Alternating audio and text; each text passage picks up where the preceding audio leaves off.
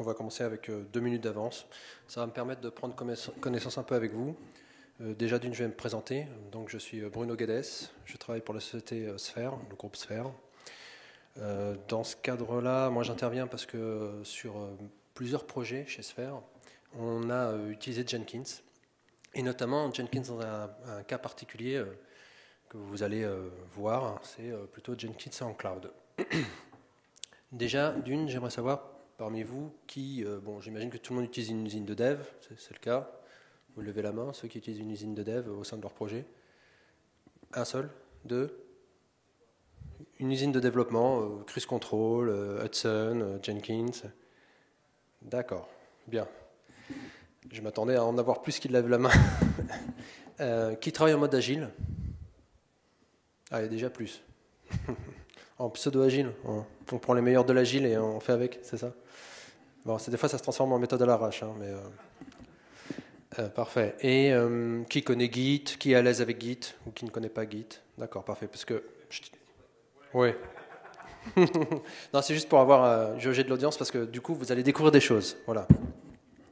Donc on va commencer. Voilà. Plutôt que de vous parler de théorie, je vais vous parler d'un cas concret et cohérent. Un cas que j'ai vécu il y a de ça maintenant un peu plus d'un an et demi. Euh, on avait fait une réponse à un appel d'offres euh, vis-à-vis d'un client, d'un client euh, qui travaille dans le retail, un gros client que je ne peux, pas citer, désolé, j'ai une clause de non-confidentialité sur le projet. Néanmoins. Donc, le, projet, en fait, après plusieurs mois de parlement, enfin de, séduction et autres pour, l'appel d'offres, le client a le go de sa direction. Donc, il a le go le 28 août, alors que ça faisait des mois qu'on était en démo et en, en train de, de, décider du projet. Il a le go le 28 août et il décide de démarrer le projet le 1er septembre. Donc, pour démarrer, comme je, enfin, c'est pour ça que d'où ma question qui travaille en méthodes agiles? Nous, on était en méthodes agiles et donc du coup, assez rapidement, on voulait euh, euh, faire des démos euh, et, avoir une usine de dev et tout. Donc il fallait que le 1er septembre, on soit opérationnel. Quand je dis opérationnel, c'est l'usine de dev prêt, les développeurs prêts, tout le monde attaqué et on y va. D'accord? Donc timing très serré. De plus, le client nous avait demandé de mettre en place une usine de développement, mais aussi dans l'optique potentielle, ce qui n'est pas le cas aujourd'hui, mais potentielle de la récupérer, l'usine de dev. Euh, évidemment, la DSI euh, ne voulait pas ouvrir son réseau, donc euh, normal, hein, ça, je pense que c'est, on peut tous le comprendre. Et le fournisseur aussi voulait avoir une vision, une vue de, de, chez lui, enfin de chez lui, que ce soit sur le lieu de travail ou autre, du code et comment les choses évoluaient. Donc avoir des métriques, enfin tout ça. Toujours dans une optique de qualité. C'était dès le départ du projet, qualité. Évidemment, le client n'avait pas forcément de compétences en usine de dev.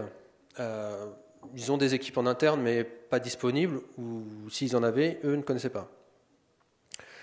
Et euh, euh, pourtant, voilà, son objectif c'était 1er septembre, usine de dev. Donc, comment on allait pouvoir faire en quelques jours pour monter tout cela? Donc, on savait que le projet, il allait démarrer de, bah, on avait commencé à faire le noyau, les fondations, donc ça allait commencer à démarrer petit.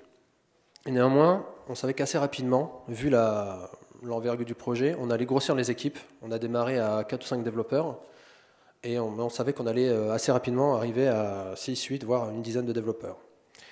Euh, donc, d'où euh, pas mal de modules à développer. Enfin, bon, bref, assez rapidement, on allait, il fallait avoir un outil pour avoir un process industrialisé. D'où, lorsqu'on a fait l'appel d'offres, on avait déjà pris en compte tous ces paramètres-là. Nous, on avait déjà fait une proposition sur euh, une usine de dev, ce qu'on appelle une Cloud Software Factory. Une usine de développement. On avait déjà auparavant euh, pas mal d'expérience dans le domaine. Moi, j'ai travaillé avec Cruise Control déjà en 2004.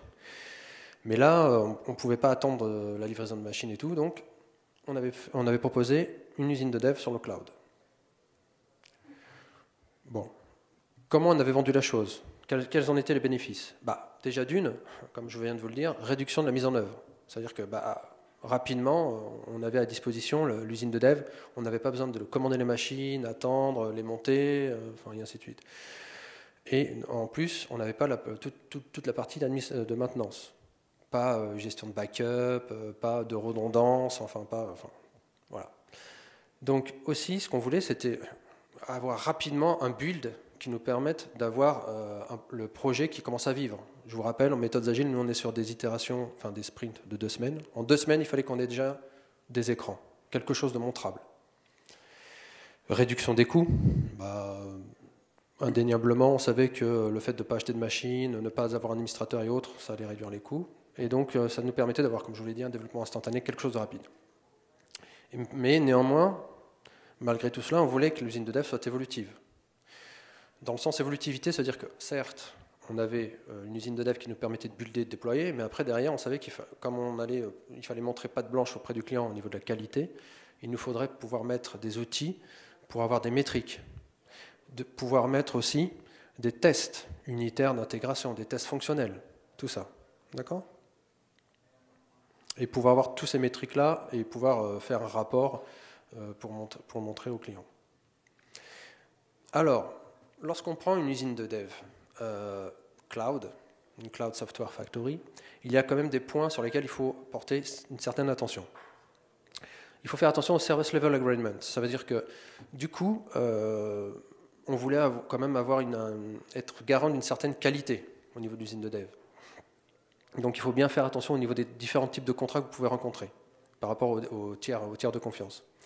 On voulait que ça soit extensible, ça veut dire que, bah, ok, on va peut-être commencer petit sur un serveur, puis on en voudra deux, trois, et ainsi de suite. On voudra peut-être faire des bulles parallèles, et ainsi de suite. Puisqu'on savait que le projet allait grossir.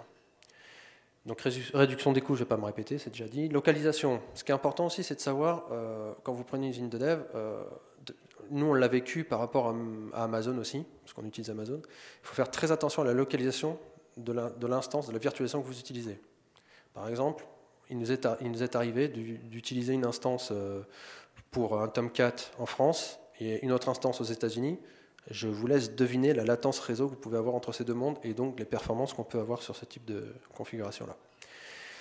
La sécurité, bah, je pense que lorsque vous faites des développements et qu'en plus vous voulez déployer sur le cloud, vous voulez qu'elle soit un minimum sécurisée, que euh, pas n'importe qui puisse y accéder. Évolutivité, donc ça veut dire, comme je vous l'ai dit, hein, rajout de certains outils sur cette usine de dev. La dépendance, Dépendance, c'est la dépense par rapport au tiers de confiance, enfin au provider. C'est-à-dire qu'on voulait, on voulait à n'importe quel moment, c'était le vœu du client, c'était de reprendre l'usine de dev pour pouvoir la mettre éventuellement chez lui, en local. Donc il nous fallait une usine de dev qui soit, euh, je veux dire, extirpable rapidement et récupérable par le client, sans avoir euh, à faire mille et une manip, euh, et ainsi de suite. Facilité d'utilisation, bah, bah ça évidemment, une usine de dev facile à utiliser parce qu'on ne voulait pas non plus mettre une balle dans le pied, avoir un outil qui soit euh, inexploitable. Donc, d'où la solution qui était d'utiliser Jenkins, qu'on connaissait au préalable, dans l'environnement CloudBees. Il y a de ça un peu plus d'un an et demi. Donc euh, la solution n'était même pas sortie encore, hein, qu'on euh, avait déjà accès à, l'environnement. Après ce cas concret, qui reste un peu théorique, je me proposais de vous faire une démonstration afin de vous montrer en live combien, enfin comment il est facile de déployer un projet sur l'environnement CloudBees. Donc, la démo va se dérouler de la manière suivante. On va créer le repository Git. Donc, c'est pour ça que je vous posais la question qui connaît Git, parce qu'il va y avoir de la manip Git. On va mettre à jour le repository, créer, le build pour packager l'application. On va créer une application. Alors une application au sens, euh, CloudBees, vous, allez voir ce qu'est ce qu'on appelle une application. Par la suite, une fois qu'on a créé l'application, on va, on va pusher notre application, enfin le développement, dans CloudBees, et on va voir que ça fonctionne en live. D'accord? Et on va pouvoir s'amuser à changer l'application, et automatiquement, elle va se rebuilder, se redéployer. Donc, pour faire cela, Bon, je triche un petit peu, j'avoue. J'ai déjà un compte CloudBees existant. Si on regarde le compte ici, c'est pas très compliqué, vous le créez. La seule chose qu'il faut faire après, par la suite, c'est de vous créer une, clé de sécurité ici, et de pouvoir la publier, c'est tout. Donc c'est en Linux, on crée une clé cryptée et ainsi de suite, et on doit la publier. Cette, manip-là, pour gagner du temps, je l'ai bypassé. Donc, résultat des courses, j'ai mon compte. Je vais, comme je vous l'ai dit, créer un repository Git, donc pour pusher mon code source. D'accord? Là, je vais créer donc tout simplement mon repository. Je vais l'appeler démo. Donc c'est bien un repository Git. Vous avez SVN, hein, si vous voulez. Oups. D'accord? Nous, on va choisir Git. Tac. Alors, euh, modulo le réseau, euh, ça fonctionne, c'est assez rapide. Vous voyez ici, vous avez toutes les commandes pour initier votre euh, repository. C'est ce qu'on va faire. Donc comme je suis un gros feignant, tac, je copie-colle. Alors vous voyez que moi j'ai une passe-phrase, un petit code, pardon.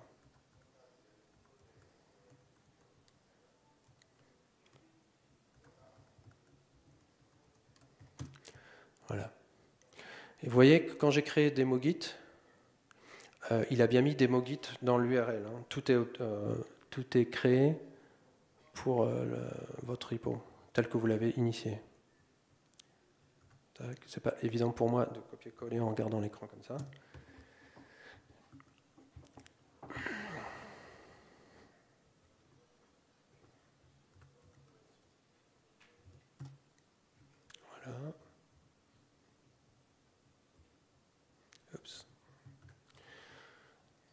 Vous voyez, hein, vous êtes vraiment guidé. Hein, a pas, pour l'instant, il n'y a pas trop à réfléchir.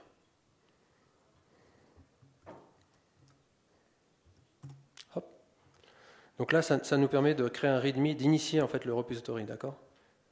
Après, on va pusher l'application.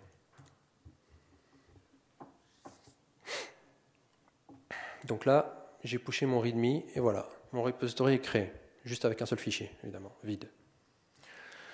Maintenant, L'application. J'ai une application, évidemment, je triche encore un peu, qui existe. Hein. Je vais la mettre ici.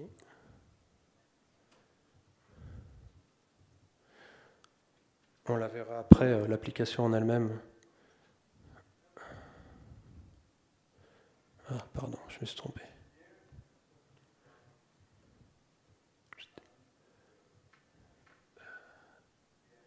Viens là, toi. J'ai du mal avec la souris. Je vais y arriver. Hop, hop, hop. Voilà. D'accord, donc ça, j'en ai plus besoin. Et ça non plus. Ok. Donc je reviens ici. Là, je fais un petit git status. Ok, donc là, je vois que j'ai rajouté un pomme et un répertoire source avec tous les, sources. Donc là, je vais faire un git add. Donc là, je réfléchis. Hein. Je copie plus. Hein. Autant pour moi. Je suis un peu dyslexique. Git add. Je vais faire après un git commit, si j'y arrive, avec adding project. Je mets quand même des, labels euh, parlants. Hein. Donc là, en local, j'ai commité. Sauf que maintenant, il faut que je push dans ma branche remote. J'espère que je parle c'est pour ça que je pose la question, hein, qui connaît Git Alors, Git push origine, et là, vous voyez, je suis sur la branche master, c'est ce qui est marqué en vert. Donc, master. Et là, je vais tout pusher sur le repository. Pardon? Oui? Oups là. oui, d'accord. Pas de problème. Je vais essayer. Alors, euh,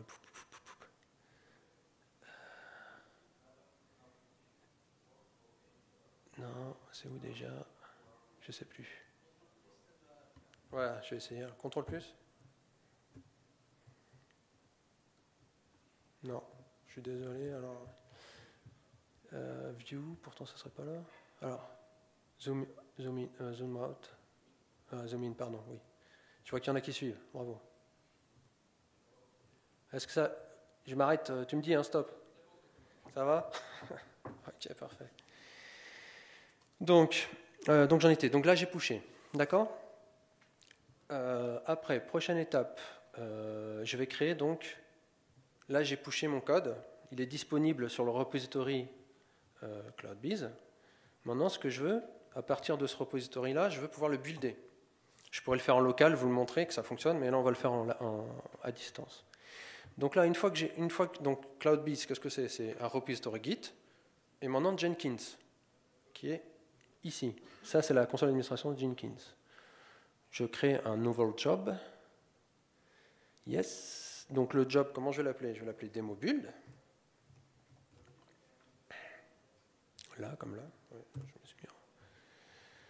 Et je vais construire un projet à partir. Alors, ça, j'ai oublié de vous dire, l'application, c'est une application Mavenisée, hein, d'accord C'est un projet Maven. Donc, je vais le construire à partir d'un projet Maven 2. Euh, OK.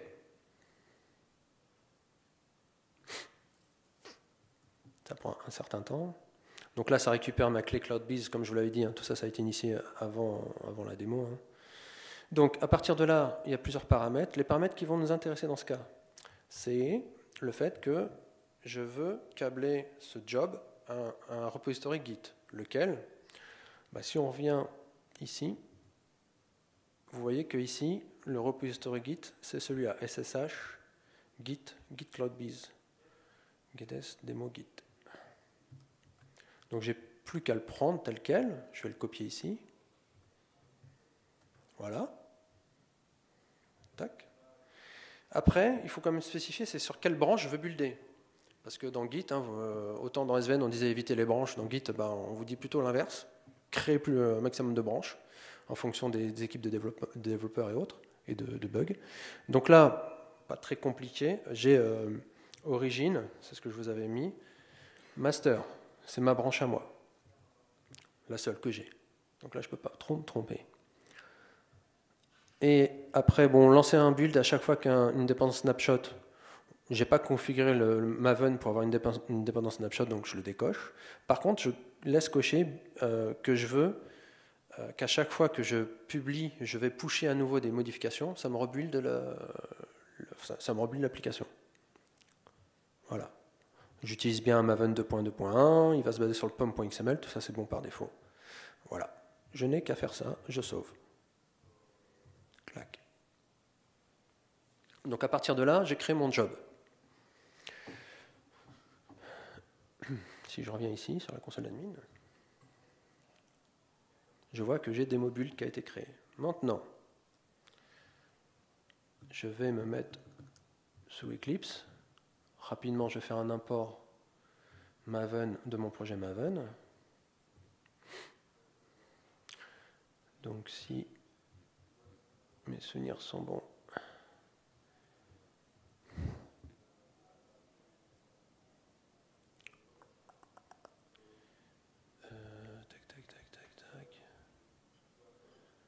j'en ai sur mon disque.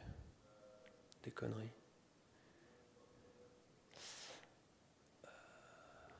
Voilà, évidemment, comme d'habitude, il était au début. Tac, voilà. Donc là, j'ai mon projet, je vais l'importer. Finish. Donc là, on va modifier le code, on va modifier le POM, hein, c'est euh, juste un exemple. Euh, on fera un exemple un peu plus parlant tout à l'heure, quand on déploiera l'application. Donc je me mets sur le POM. allez, allez. Par exemple, je vais mettre un espace ici, hop, deux espaces, même, allez, soyons royal. À ce moment-là, là, je fais un guide status pour voir l'état de mon projet. Je vois que euh, j'ai un pom.xml euh, qui, a, été créé. Alors là, là j'ai un point classe, point project, point settings. Euh, j'aurais pu créer un fichier git ignore pour éviter ces, fichiers-là. J'en ai un sous le coude quelque part. Bah, D'ailleurs, il est là.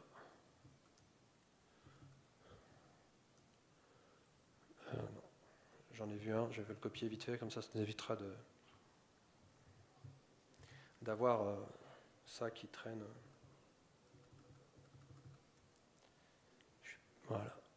Hop, ma souris. Et là, non, il ne veut pas le copier. Bon, c'est pas grave, tant pis. Je vais, je vais, euh, ce, que je, ce que je vais faire là, c'est pas bien. Je vais pusher le class pass et le target, mais bon, tant pis, c'est juste pour l'exercice. Donc là, je vais faire un git add un corps. Git commit -m. Donc là, je vais mettre modif 1 ou test build, ça va être plus rigolo. Voilà. Ok, donc là il l'a créé. Maintenant je vais faire un git push origin master. Yes. À partir de là, si tout se passe bien, il va détecter qu'on a pushé dans le repository pléthore de fichiers alors que je ne voulais qu'en pusher un seul, mais bon, c'est pour l'exercice. Et là, il va commencer, voilà, file d'attente de, des constructions, des mobiles. Là, il a détecté, il va commencer à. Alors, derrière, il y a tout un mécanisme. La première fois, c'est coûteux parce qu'il va allouer une instance où il va pusher le code, et ainsi de suite. Donc, la première fois, c'est un peu, un peu lent. D'accord Voilà, vous voyez, là, il a, déjà démarré. Donc, si on regarde ici, on peut regarder les logs. Hein sortie de la, voyez, la, la, petite boule, ça tourne, ça tourne. Sortie de la console, je peux regarder. Donc là, on va voir toutes les opérations qu'il est en train de faire. Est-ce que vous aviez déjà une démonstration de, de Jenkins dans CloudBees Non Ok. Donc là, il va, il va tout builder et il va me créer le WAR. Donc c'est une application, euh, c'est une application web qu'on verra par la suite.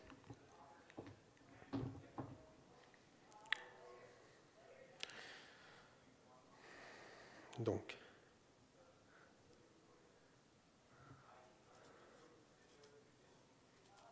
voilà, vous voyez, là, il est en train de builder, le war.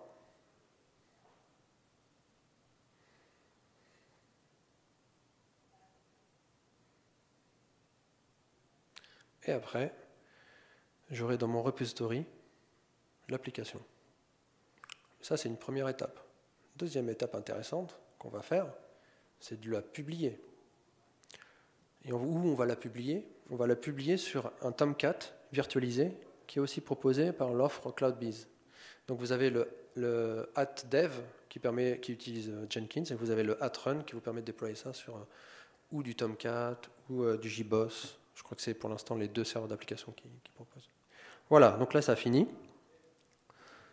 Donc si je reviens ici, je reviens sur Jenkins. Tac, on a un petit soleil. Ouh, tout va bien.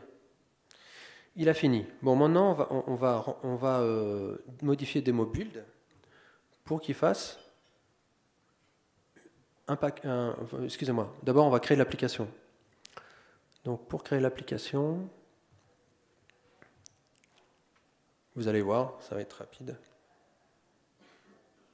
Donc, pour l'instant, j'ai pas d'application. Donc, j'ajoute une application qu'on va appeler démo.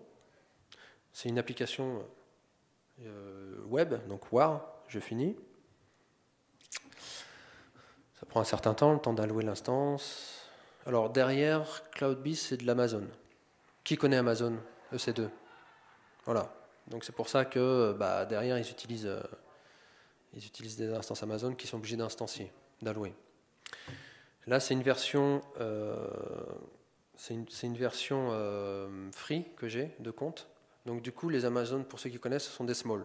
Donc c'est pour ça que c'est pas pas des instances hyper véloces, hyper enfin, c'est pas des larges ou X larges.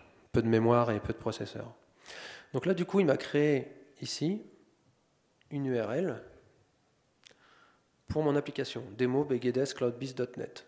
Si on y va, bah, évidemment, il n'y a rien pour l'instant, parce que j'ai rien poussé. J'ai une page par défaut. Donc voilà, ça je le garde bien sous le coude parce que là j'ai mon alias d'application, j'en aurai besoin pour configurer le build que je vais modifier. Alors le build il est là. Là du coup, là, je vais mettre... Euh, non c'est bon, le rafraîchissement est mis. Donc je vais le configurer. Alors je vais, je vais mettre démo build deploy. Et après, tout ce que j'ai à faire, Là, ils ont modifié en fait euh, leur, application. Ça a simplifié euh, encore grandement les choses. C'est qu'avant, il, il, fallait le faire par Maven pour pouvoir déployer, alors que là, je dis que je veux déployer sur CloudBees, ici. Alors, je veux l'application ID. Bah, l'application ID, c'est ce que j'avais vu tout à l'heure ici. Donc ça, je vais, c'est bgds slash démo. Donc là, je lui dis, tu vas publier sur cette instance euh, Tomcat. Voilà. C'est tout ce que j'ai à faire. Je sauve. Donc il me demande si je veux renommer. Euh, je fais oui. Parce que je fais les, pardon, je fais les choses proprement. Je change le libellé du... Oups. Ah, problème réseau. Il va falloir que je refasse la manip. Ok. Je vais refaire la manip. Donc si je fais configurer, je n'ai plus de réseau.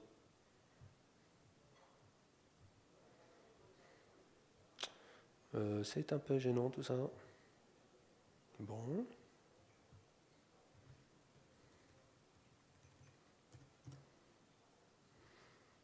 Ok, c'est reparti pour un tour.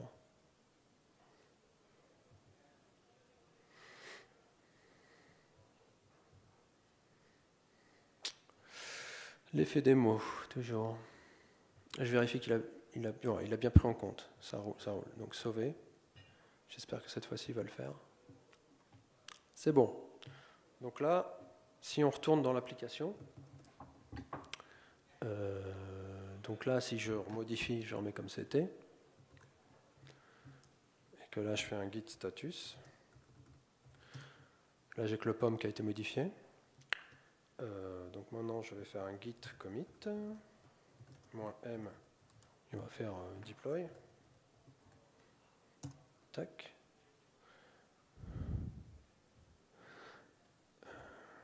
Attendez, j'ai l'impression qu'il n'a pas fait le commit, j'ai oublié le moins.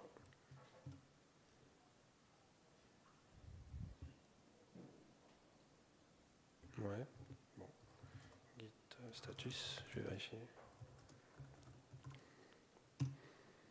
Modify, git commit.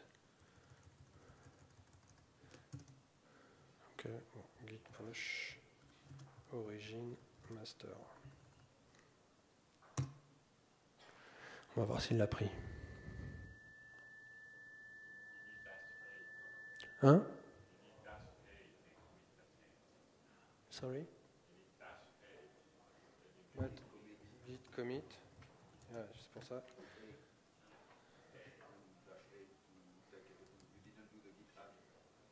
Bah, ah si, je l'ai fait le git add.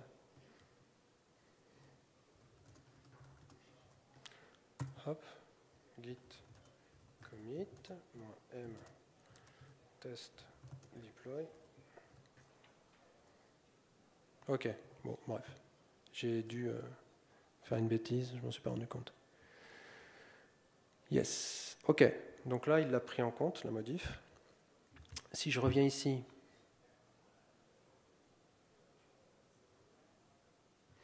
donc voilà, là, il commence à le démarrer. Voilà, ça va commencer.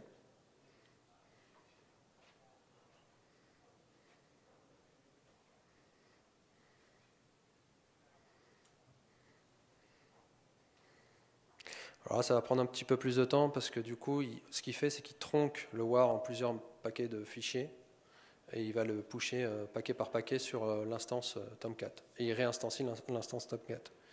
Donc là, ça va prendre un petit peu plus de temps. Mais bon, on a encore 4 minutes devant nous. Ça va le faire.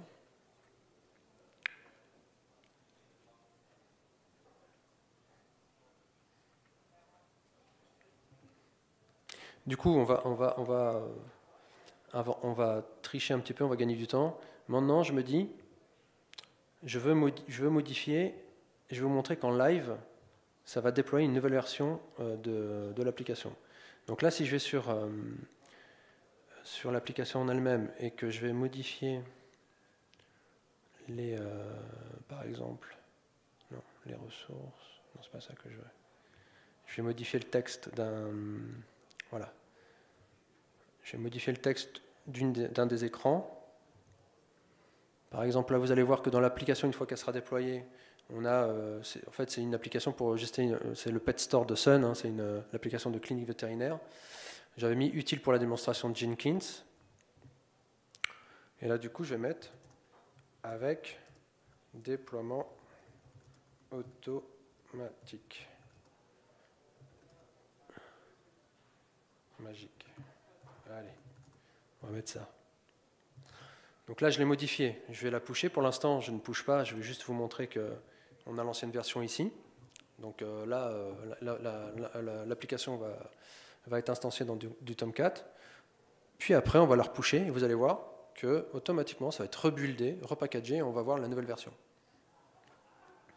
Donc tout ça, en fait, c'était pour recouper par rapport à ce que je vous ai dit précédemment. Donc les bénéfices, facilité d'utilisation, je pense que jusqu'à maintenant, c'est pas très compliqué.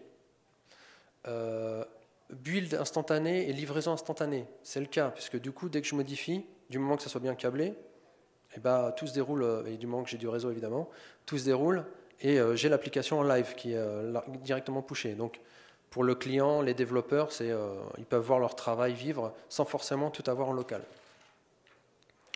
Une fois qu'ils l'ont en local, ils peuvent très bien le tester dans un vrai environnement. C'est ce que je veux dire. D'accord? Le fait de ne pas gérer euh, tout ce qui est administration, euh, euh, tout ce qui est hardware et autres, bon, ça, vu que c'est de la virtualisation, vous en êtes bien conscient. Donc pour moi, c'était intéressant de faire l'exercice de, OK, ce qu'on se dit, on le prouve. J'espère que vous êtes un peu comme moi, je ne crois que ce que je vois. Donc là, si on regarde hein, le build qui a été fait, si on regarde euh, la console, on voit que, voilà, il a copié tous les petits morceaux. Maintenant, enfin le war en fait. Si je reviens ici que je fais un refresh, là il a eu le temps d'instancier l'application et tout.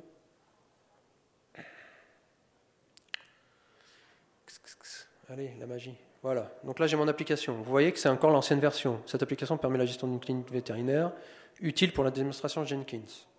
Maintenant que j'ai modifié le code, je reviens ici, alors git status. Je n'ai modifié que mon message pour parties. Maintenant je vais faire un git commit -m, puis je vais mettre euh, deploy 2. Ah oui. Bien. Je vois qu'il il y en a un qui suit vraiment. Merci en tout cas. Git commit-m, à vouloir aller trop vite. Deploy 2. OK, et ben après, après, je vais faire un git push origin master. Voilà. Et rebelote. Tac.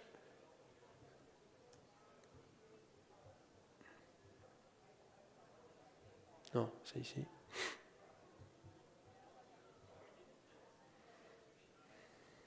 Voilà, le temps que je vienne et tout, il a déjà pris en compte.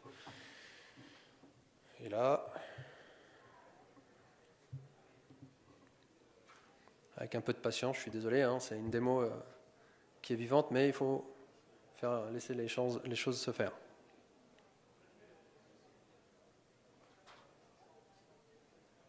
On peut déjà peut-être commencer à prendre quelques questions. Est-ce que vous avez des remarques, des questions? Est-ce que ça vous a saoulé, intéressé? Plus de batterie. Ah oui, bah ça, vois, ça tombe bien.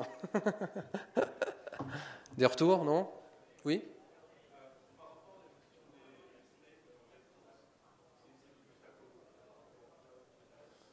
La notion des slaves Ça me dit rien, on explique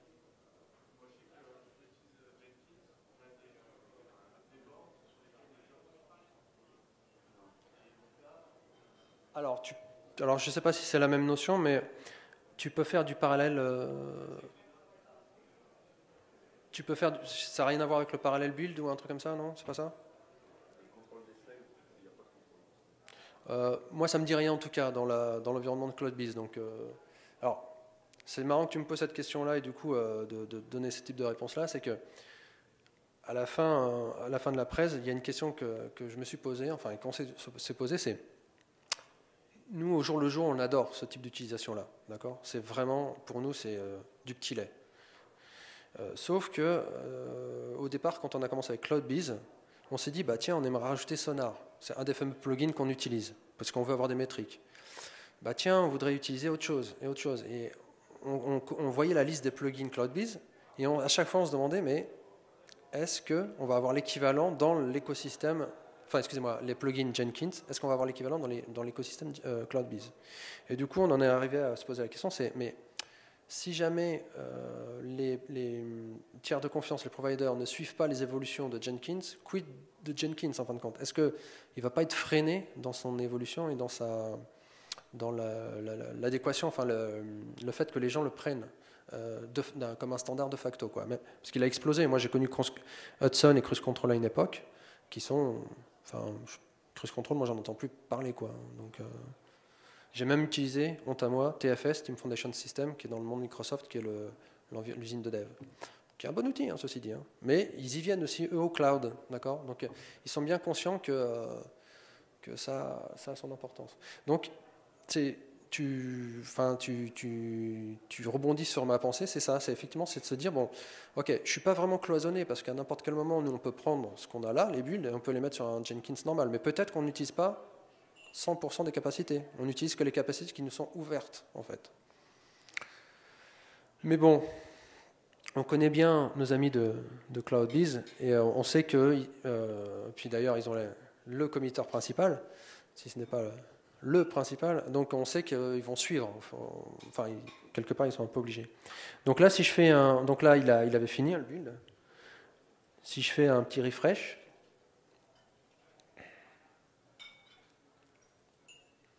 ça prend un certain temps. Voilà. Donc j'ai bien la nouvelle version avec euh, utile pour la version du, avec déploiement automatique magique. Donc vous voyez bien, simple, instantané. J'ai fait l'exercice en un peu plus de 20 minutes. Donc euh, en trichant un petit peu avec le login, mais euh, allez, une demi-heure. Voilà, j'espère que ça vous a que ça vous a donné envie d'aller vers ce type de, solution. En tout cas, nous, dans la, chez Sphere, il y a au moins 4 ou 5 projets on l'utilise. Avec tout l'écosystème derrière. Hein. Euh, GitHub, euh, et puis euh, qu'est-ce qu'on utilise? Assembla, Milin, enfin tout plein de choses. Sonar aussi, oui, effectivement. Oui voilà. Pardon? Ah non, alors pas ma connaissance. Shame, shame on me. Voilà, bah, je vais finir là. Je suis à peu près dans les temps. J'espère que bah, je vous ai pas trop embêté et que ça vous a intéressé.